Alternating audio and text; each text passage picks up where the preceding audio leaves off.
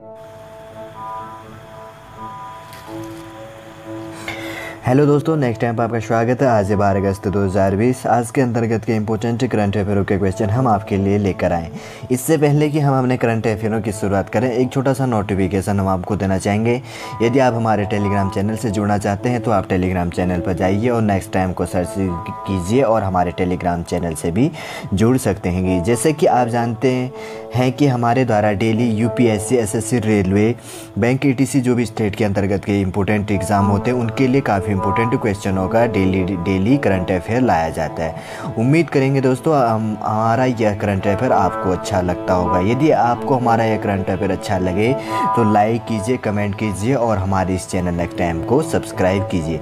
चलिए, आपका ज़्यादा टाइम न लेते हुए आगे बढ़ते हैं। जानते हैं कि आज के इंपॉर्टेंट करंट अफेयरों के क्वेश्चन कौन से आज का हमारा पहला क्वेश्चन है गेम कोविड वैक लियो ठीक है गेम कोविड वैक लियो हाँ क्या कह रहा है? नामक गेम कोविड वैकलियो नामक कोविड नाइन्टीन वैक्सीन किस देश ने बनाने का दावा किया ठीक है, चार ऑप्शन इसके अंतर्गत ये पहला है अमेरिका, दूसरा है रूस, तीसरा है भारत, चौथा है चाइना। ठीक, इसके अंतर्गत का राइट आंसर है हमारा ऑप्शन बी। ऑप्शन बी क्या है? रूस। रूस ने क्या किया है? एक गेम कोविड वैकलियो नामक कोविड नाइन्टीन वैक्सीन बनाने का दावा किया गया है। किसके द्वारा? रूस के द्वारा। रूस की कैपिटल की बात करें तो क्या है? ये रहा रूस, रसिया, ये रहा हमारा प्यारा भारत, ये रहा रूस। ठीक है, क्षेत्रफल के आधार पर सबसे बड़ा देश कौन सा है? रूस, फिर उसके बाद चाइना है। ठीक है सेकिन की बात करें तो। तो क्या करें? रूस की कैपिटल मास्को यहाँ पर स्थित है। रूस के प्रेसिडेंट जो हैं व्लादिमिर पुतिन ये रहे रूस के व्लादिमिर पुतिन। इन्होंने क्या किया है कि गेम कोविड वैकलियो नामक कोरोना वैक्सीन बनाने का दावा किया गया और इनके द्वारा यह भी कहा गया कि इसका ट्रायल किया गया है, इनकी पुत्री पर कराने का भी इनके द्वारा दावा किया गया है। ठीक है? चलिए आपको समझ में आएगा, आगे बढ़ते हैं आज का क्वेश्चन हाल ही में भारत के राष्ट्रपति ने किसे, कितने स्वतंत्रता सेनानियों को सम्मानित किया? ठीक है, क्या किया गया? हाल ही में भारत के प्रेसिडेंट कौन है रामनाथ कोविंद जी कोविंद जी, जिनके द्वारा क्या किया गया है? भारत के स्वतंत्रता सेनानियों को सम्मानित किया गया, लेकिन कितने स्वतंत्रता कितने हैं?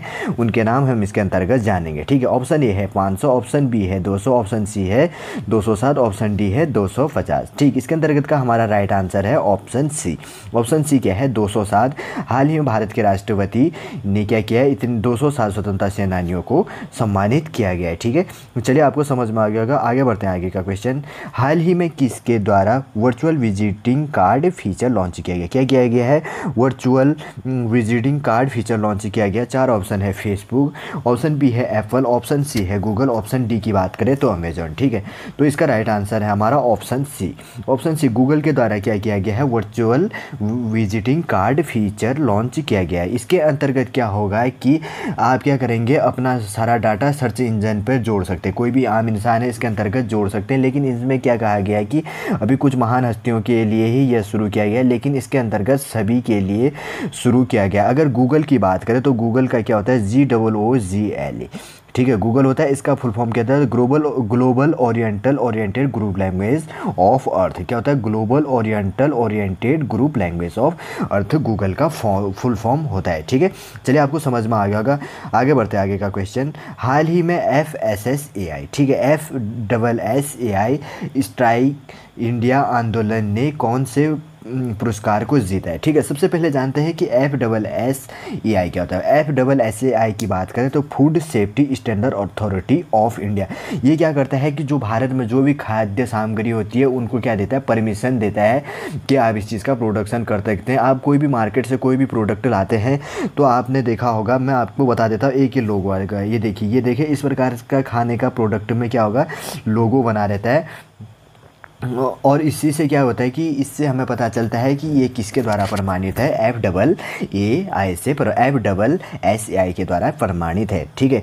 इसी के अंतर्गत क्या किया गया है कि स्ट्राइक इंडिया आंदोलन ने कौन सा पुरस्कार जीता है? तो फ़र्स्ट है सिस्टम विजन पुरस्कार, ऑप्शन बी है भारत रत्न, ऑप्शन सी है खाद्य श्रृंखला पुरस्कार, ऑप्शन डी है F double S A I पुरस्कार, ठीक है? तो इसके अंतर्गत का राइट आंसर क्या है? ऑप्शन ए, सिस्टम विजन पुरस्कार किसके द्वारा जीता गया है? फ़ूड सेफ्टी स्टैंडर्ड अथॉरिटी के ईट राइट इंडिया के द्वारा जीता गया है। ठीक है, यह पुरस्कार उन संगठनों को दिया जाएगा। अब देखिए कि यह संगठन उन किन को दिया जाएगा? उन संगठनों को दिया जाएगा जिन्होंने क्या किया है? पुनर्जी, पुनर्योजित और पौष्टिक भोजन प्रणाली में क्या किया है?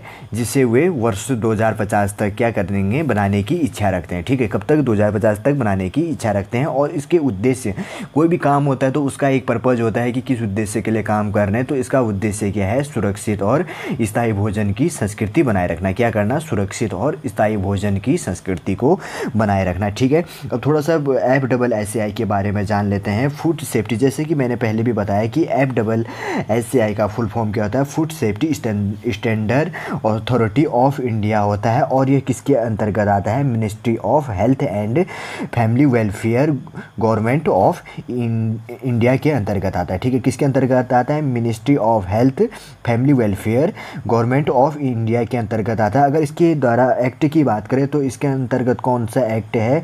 Food safety and standard act two thousand sixty इसके अंतर्गत एक्ट लगता है। कौन सा एक्ट लगता है? Food safety and standard act two thousand six इसके अंतर्गत एक्ट लगता है। अगर इसकी स्थापना की बात करें तो ये कब बना था? दो हज़ार ग्यारह में इसका बना था, फॉर्मेट हुआ था। और ये कहाँ का है? भारत का स्थित है। इसके हेडक्वार्टर की बात करें तो न्यू दिल्ली पर स्थित है। ठीक है? चलिए, आपको समझ में आ गया होगा। आगे बढ़ते हैं, आगे का क्वेश्चन हाल ही में सत्तरवीं वर्षगांठ ग्रैंड प्रिक्स किसके द्वारा जीता गया? ठीक है, क्या है कि सत्तरवीं वर्षगांठ में ग्रैंड प्रिक्स किसके द्वारा जीता गया? है ऑप्शन ए है लुइस हैमिल्टन ऑप्शन बी है वोल्टेरी वोल्टास ऑप्शन सी है वेरेस स्टेफन क्या है? वेर स्टेफन और ऑप्शन डी है ब्रेडली ठीक, इसके अंतर्गत का हमारा राइट आंसर क्या है? सत्तरवीं वर्षगांठ की ग्रैंड प्रिक्स किसके द्वारा जीता गया है? ऑप्शन सी वेर स्टेफन ठीक है, किसके द्वारा? वेर स्टेफन के द्वारा जीता गया है? ठीक है वेर स्टेफन ये रहे वेर स्टेफन ठीक है, ये कौन से है? फॉर्मूला रेसर हैं रेड बुल के। कौन से हैं? रेड बुल के रेसर हैं। ठीक है, इन्होंने क्या किया है? इनको किन को पीछे करके आगे बढ़े हैं? इन्होंने किसको पीछे किया? लुइस हैमिल्टन और वोल्टेरी वोल्टास जो किसके ड्राइवर है? मर्सडीज़ के ड्राइवर है, ठीक है? किसके ड्राइवर हैं? लुइस हैमिल्टन और वोल्टरी वोल्टास। इनको किसने पीछे कर रखा है? ऑप्शन सी क्या है वेस्टे पेन। पेन के द्वारा इनको पीछे किया गया है, ठीक है? और इन्होंने अपने नाम पर इस बार का क्या किया है? सत्तरवीं वर्षगांठ की ग्रैंड प्रिक्स अपने नाम पर किया गया है, ठीक है? अगर यह बात करें तो यह पहला क्या है, गैर जो गैर मर्सिडीज चालक बन गए। और ये क्या है, पहले गैर मर्सिडीज चालक बन गए जिन्होंने क्या किया है सेवेंटी की वर्षगांठ पर क्या किया है, ग्रैंड प्रिक्स को जीता है, ठीक है?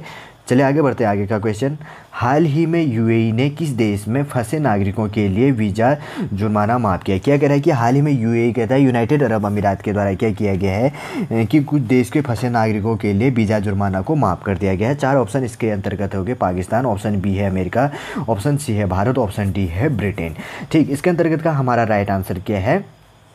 Option C Bharat. ठीक है, यूनाइटेड अरब अमीरात क्या है? एक गल्फ कंट्री अभी हम मैप के माध्यम से जानेंगे कि आखिर ये कहाँ पर है।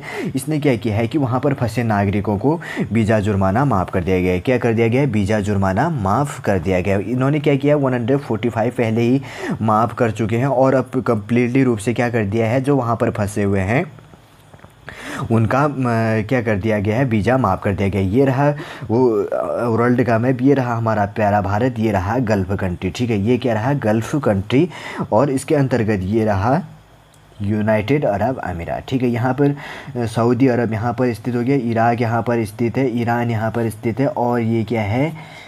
दुबई, ठीक है? दुबई यहाँ पर स्थित हो गया और ये क्या हो गया? यूनाइटेड अरब अमीरात, ठीक है? क्या है? यूनाइटेड यूनाइटेड अरब अमीरात ठीक है ओमान ही हो गया। ओमान गल्फ़ ऑफ़ ओमान यहाँ पर स्थित है। ठीक है? कहाँ पर स्थित है? काफ़ी इंपॉर्टेंट है। पूछ लेता है। गल्फ़ ऑफ़ ओमान यहाँ पर स्थित है। पार्सन गल्फ़ है। ठीक है? पार्सन आइलैंड कहाँ पर है? ये भी पूछ लेता है। ये देखिए पार्सन आइलैंड इसके अंतर्गत है। ठीक है? पार्सन आइलैंड इसके अंतर्गत है। तो इसके अंतर्गत का राइट आंसर क्या था? Option C Bharat. भारत को क्या कर दिया गया? यूनाइटेड अरब अमीरात के द्वारा वहाँ पर फंसे हुए नागरिकों के लिए वीज़ा जुर्माना माफ़ कर दिया गया। ठीक है? चलिए, आपको समझ में आ गया आगे बढ़ते हैं।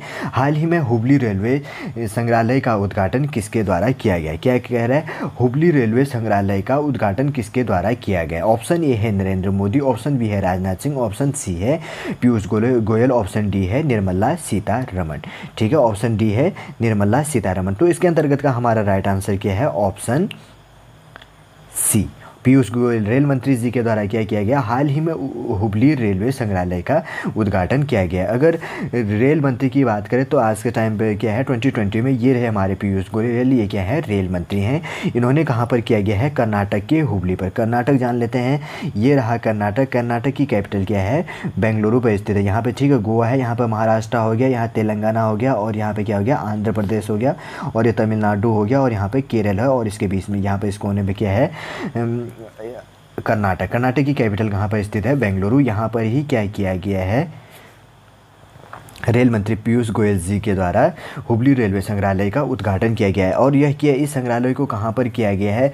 जो वहाँ पर एक पुराना रेलवे स्टेशन था, उस पर कुछ करेक्शन करके वहाँ पर ही रेलवे संग्रहालय का उद्घाटन किया गया, किसके द्वारा? पीयूष गोयल जी द्वारा किया गया। ठीक है, चलिए आपको समझ में आ गया, आगे बढ़ते हैं। हाल ही में किस राज्य ने इंदिरा वन मितान योजना का शुरू किया है? क्या कह रहा है? हाल ही में किस राज्य ने इंदिरा वन मितान योजना का शुभारंभ किया गया? ऑप्शन ए है हिमाचल प्रदेश, ऑप्शन बी है उत्तराखंड, ऑप्शन ऑप्शन सी है छत्तीसगढ़, ऑप्शन डी है मिजोरम। ठीक है तो इसके अंतर्गत का हमारा राइट आंसर है इंदिरा वन मितान योजना छत्तीसगढ़ के द्वारा लागू किया गया। किसके द्वारा? छत्तीसगढ़। ठीक है कैपिटल मैप पर जान लेते हैं, आखिरकार छत्तीसगढ़ कहाँ पर स्थित है? ये रहा, हमारा प्यारा भारत, ये रहा छत्तीसगढ़। ठीक है छत्तीसगढ़ की बात करें तो छत्तीसगढ़ के मुख्यमंत्री कौन है? भूपेंद्र वेगल जी के द्वारा क्या किया गया। वहाँ के वनवासियों और किनको, को क्या करने के लिए, आत्मनिर्भर बनाने के लिए इस योजना के तहत वन आधारित आर्थिक और गतिविधियों का प्रबंधन करने के लिए आदिवासी बहुल क्षेत्रों में लगभग क्या किया गया है? दस हज़ार गाँवों में युवाओं के समर्पित समूहों का गठन किया गया है, ठीक है? आपको समझ में आ गया होगा। अगर बात करें तो इसके अंतर्गत क्या किया गया है? जो भूपेंद्र बेघल जी के द्वारा इनको शुरू किया गया है, ठीक है? आपको समझ में आ गया होगा, ये रहा वर्ल्ड, भारत का मैप, और इसके अंतर्गत जैसे कि मैंने बताया कि ये रहा छत्तीसगढ़, ठीक है? छत्तीसगढ़, एक छोटा सा और बता रहा हूँ। भारत में कर्क रेखा कितने राज्यों से होकर गुजरती है? आठ राज्यों से होकर गुजरती है। कितने राज्यों से? आठ स्टेटों से होकर अब कहाँ से होकर गुजरती है, ये भी मैं आपको बता देता हूँ, ठीक है? ये रहा मिज़ोरम ये रहा त्रिपुरा, ये पश्चिम बंगाल, झारखंड, छत्तीसगढ़, महाराष्ट्र, राजस्थान और गुजरात इस रूप से छूते हुए क्या करती है? ये आठ राज्यों से काटते हुए क्या करती है? कर्क रेखा भारत से होकर गुजरती है। एग्ज़ाम परस्पेक्टिव से काफ़ी इंपॉर्टेंट है। मैं आपसे उम्मीद करूँगा दोस्तों कि आप अधिकतर मात्रा में जब जोग्राफी या आई से कोई भी सब्जेक्ट पढ़ते हैं, आप यू प्रिपरेशन की जो भी तैयारी करते हैं तो आप क्या कीजिए? मैप के माध्यम से पढ़ने की कोशिश कीजिए। इससे क्या होता है कि आपको आसानी से समझ में आ जाएगा। ठीक है? और आप भूलेंगे भी नहीं। ठीक? आपको समझ में आ गया आगे बढ़ते हैं आगे का क्वेश्चन हाल ही में किस राज्य ने मुख्यमंत्री किसान सहायक योजना शुरू किया गया है? क्या किया गया है? मुख्यमंत्री किसान सहायक योजना शुरू किया गया ऑप्शन ए है बिहार, ऑप्शन बी है गुजरात, ऑप्शन डी सी है हरियाणा, ऑप्शन डी है राजस्थान। ठीक है, इसके अंतर्गत का राइट आंसर क्या है? Option B Gujarat. गुजरात की कैपिटल कहाँ पर स्थित है? गांधीनगर। उसके द्वारा क्या किया गया? मुख्यमंत्री किसान सहायता योजना शुरू किया गया। क्या किया गया? मुख्यमंत्री सहायता किसान योजना शुरू किया गया। इनमें क्या किया गया? ये रहा सबसे पहले हम जान लेते हैं कि गुजरात कहाँ पर स्थित है। ठीक है, ये रहा हमारा प्यारा भारत, ये रहा गुजरात। ठीक है, ये रहा क्या है? गुजरात। ठीक है, मैं मैप आपके लिए जूम कर देता हूँ। ये रहा गुजरात। गुजरात की कैपिटल कहाँ पर स्थित है? गांधीनगर। सबसे लंबी तटरेखा वाले राज्य कौन सा है? गुजरात है। कौन है? सबसे लंबी तटरेखा वाला राज्य गुजरात है। ठीक है, कौन है? गुजरात है। और गुजरात सबसे लास्ट कौन सा है? मैं, जैसे कि मैंने पहले भी कहा है कि ये मिज़ोरम से होकर कहाँ पर आती है? गुजरात पर होकर कर्क रेखा होकर गुजरती है। इस जैसे तो कभी एग्ज़ाम में परस्पेक्टिव से काफ़ी इंपॉर्टेंट है। पूछ लेता है कि क्या कर्क रेखा गुजरात राज्य से होकर गुजरती है? तो आपका आंसर रहेगा हाँ कर्क रेखा गुजरात राज्य से होकर गुजरती है। ठीक है? और इसके अंतर्गत इसको बनाने का मुख्य पर्पज़ क्या है? कि इसमें क्या किया गया है?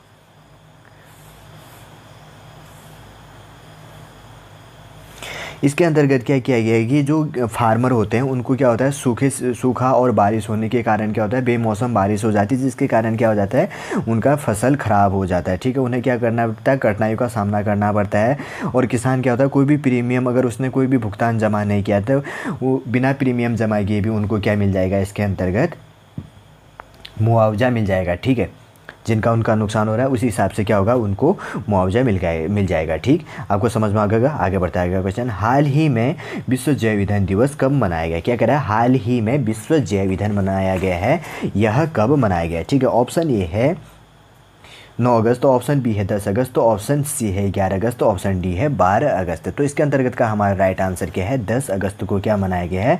विश्व जैव ईंधन दिवस मनाया गया है। कब मनाया गया है? दस अगस्त को विश्व जैव ईंधन दिवस मनाया गया इसके अंतर्गत की बात करें तो इसमें क्या है? गैर जीवाश्मी ईंधनों के महत्व के बारे में क्या करना है? जागरूक फैलाने के लिए प्रतिवर्ष क्या किया जाता है? दस अगस्त को विश्व जैव ईंधन दिवस मनाया जाता है। ठीक है? आपको समझ में आ गया आगे बढ़ते आज का लास्ट क्वेश्चन है और एग्ज़ाम परस्पेक्टिव से ये भी काफ़ी इंपॉर्टेंट ठीक है? हाल ही में direct to consumer online store किसके द्वारा शुरू किया गया? क्या कह रहा है? हाल ही में direct to customer online store किसके द्वारा शुरू किया गया? पहला ऑप्शन है एप्पल ऑप्शन बी है सैमसंग ऑप्शन सी क्या है? फ्लिपकार्ट और ऑप्शन डी है एलजी तो इसके अंतर्गत का हमारा राइट आंसर क्या है? ऑप्शन डी एलजी के द्वारा क्या किया गया है? डायरेक्ट टू कंज्यूमर ठीक है? D to C direct to consumer online store शुरू कर दिया गया। अगर एलजी की बात करें तो इसकी कब हुई थी? 1948 में इसकी शुरुआत कहाँ पर हुई थी? कोरिया, इसकी हेडक्वार्टर कोरिया पर स्थित है। मुख्य रूप से ये कहाँ पर हुआ था? दक्षिणी कोरिया। दक्षिणी कोरिया की बात करें तो ये कहाँ पर स्थित है? सियोल पर स्थित है। अगर एलजी के फॉर्म की बात करें तो इसका फुल फॉर्म मैं यहाँ पर लिख देता हूँ। काफ़ी इंपॉर्टेंट है कभी पूछ लेता है। एसएससी के एग्ज़ाम छोटे मोटे एग्ज़ामों के अंतर्गत लेगोगी लेगोगी क्या है? कोरियन पे नाम दिया गया इसको। लेगोगी ग्यूम से ओम ठीक है? क्या किया गया लेगो लेगोगी ग्यूमस से ओम, ठीक है? 1948 में इसकी स्थापना हो गई थी और यह कहाँ पर स्थित है? कोरियन कंपनी है। दक्षिण कोरिया की बात करें तो इसकी कैपिटल कहाँ पर स्थित है? सियोल। इसी के अंतर्गत एक मैं छोटा ऑप्शन देता हूँ। नॉर्थ कोरिया ये हो गया, साउथ कोरिया इस प्रकार है। इसको अलग करने वाले एक चैनल को पूछ लेता है। ये क्या है? थर्टी डिग्री चैनल है। नॉर्थ कोरिया ऊपर हो गया, नीचे कौन है? साउथ कोरिया यहाँ पर स्थित है, ठीक है?